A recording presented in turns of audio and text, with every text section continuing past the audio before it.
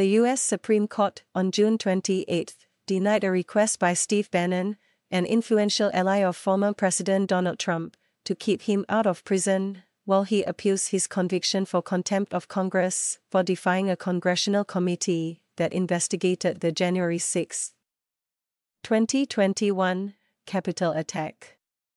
Bannon made the request to the justices on June 21 after a Washington based federal appeals court rejected his bid to delay him from reporting to prison on July 1 as scheduled. Trump is the Republican candidate challenging Democratic President Joe Biden in the November 5 U.S. election. Bannon's sentence could keep him imprisoned for much of the rest of the presidential race.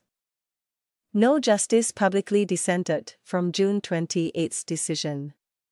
Bannon was sentenced to four months in prison after being convicted in 2022 of two misdemeanor counts of contempt of Congress. He was charged after he refused to turn over documents or testify to a Democratic led House of Representatives committee investigating the Capitol riot by Trump supporters who had sought to prevent congressional certification of Biden's 2020 election win. Bannon was a key advisor to Trump's 2016 presidential campaign, then served as his chief White House strategist during 2017 before a falling out between them that was later patched up. He also has played an instrumental role in right wing media.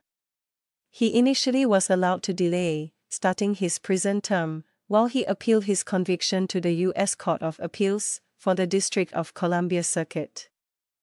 The D.C. Circuit ultimately upheld Bannon's conviction, prompting U.S. District Court Judge Carl Nichols on June 6 to order Bannon to report to prison on July 1. Bannon would not be the first former, top official from Trump's White House to go to prison for refusing to cooperate with the committee. Peter Navarro, a former Trump trade advisor, reported to prison in March after being given a four month sentence the Supreme Court declined Navarro's request to remain free during his appeal. In their filing to the Supreme Court, Bannon's attorneys argued that he should remain free until the justices are able to make a decision on important legal questions in the case. They said that Bannon's conviction should be overturned because he was wrongfully prevented at trial from presenting evidence that he relied upon the advice of his attorney before refusing to provide documents or testify before Congress. The prosecution, during the trial, said Bannon, showed disdain for the authority of Congress and needed to be held accountable for unlawful defiance. The defense lawyers sought to portray the case as politically motivated. Trump in 2021 pardoned Bannon on federal criminal charges, accusing him of swindling Trump supporters, involving an effort to raise private funds to build a wall on the US Mexico border. Bannon pleaded not guilty to state charges regarding the border wall fundraising and is awaiting trial.